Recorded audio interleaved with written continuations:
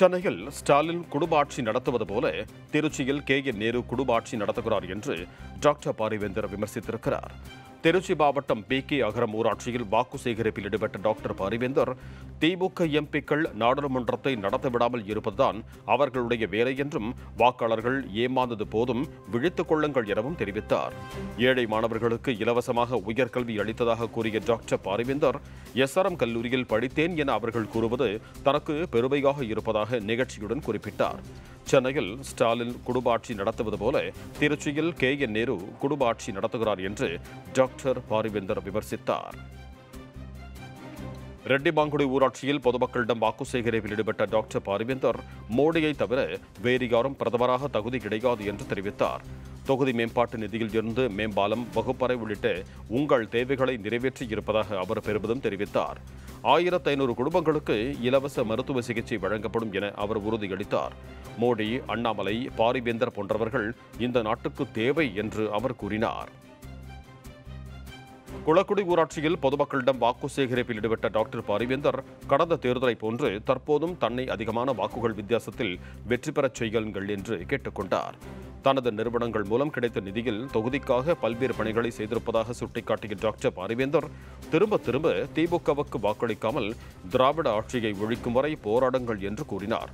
தேர்தல் பிரச்சாரத்தின் போது குளக்குடியில் உள்ள பூர்ணோதயா சிறப்பு பள்ளி மாணவர்கள் டாக்டர் பாரிவேந்தரை சந்தித்து தங்கள் பள்ளிக்கு உதவி செய்தமைக்காக நெஞ்சார்ந்த நன்றியை தெரிவித்துக் கொண்டனர். தொகுதிக்குட்பட்ட கண்ணாக்குடி ஊராட்சியில் பொதுமக்களிடம் தாமரை சின்னத்திற்கு வாக்கு சேகரித்த டாக்டர் பாரிவேந்தர் இந்த ஊர் மக்களின் கோரிக்கையான சமுதாய கூடம் கட்டித்தரப்படும் எனவும் கண்ணாக்குடி பகுதியில் ஏரியை தூர்வாரி நீர்வரத்து பெருக நடவடிக்கை எடுக்கப்படும் என்றும் டாக்டர் பாரிவேந்தர் உறுதியளித்தார். திருச்சி மாவட்டம் லால்குடி அருகே புள்ளம்பாடி ஒன்றியத்தில் உள்ள காணக்கிளிய நல்லூரில் வாக்கு சேகரிப்பில் ஈடுபட்ட டாக்டர் பாரிவேந்தர் ஆயிரத்தி இருநூறு மாணவர்களுக்கு இலவச உயர்கல்வி தொடரும் என்றும் ஆயிரத்து ஐநூறு குடும்பங்களுக்கு இலவச மருத்துவ சிகிச்சை வழங்கப்படும் என்றும் வாக்குறுதி அளித்தார்.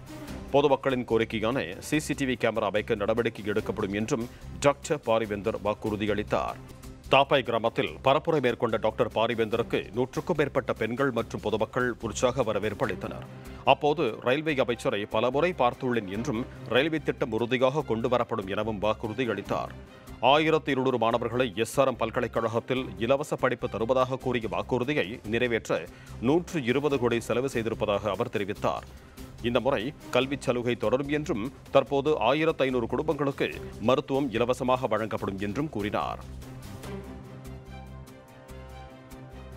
பந்தலை பகுதியில் பிரச்சாரம் செய்த டாக்டர் பாரிவேந்தர் பந்தலை கள்ளக்குடி சாலை சீரமைக்க வேண்டும் என்ற மக்களின் கோரிக்கையும் கூடலூர் கிராமத்தில் தேரோடும் வீதி செப்பனிடும் எனவும் மாலை நேரங்களில் பேருந்து வசதி செய்து தரப்படும் எனவும் வாக்கு சேகரிப்பில் ஈடுபட்ட அவர் தெரிவித்தார்.